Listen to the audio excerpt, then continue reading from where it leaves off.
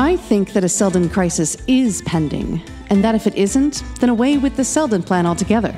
It is a failure. There has come word of a strange man whom they call the Mule. The mule?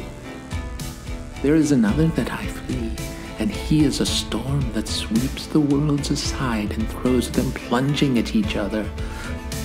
By the dust clouds of space, the Foundation will win. The Foundation must win. Magnifico!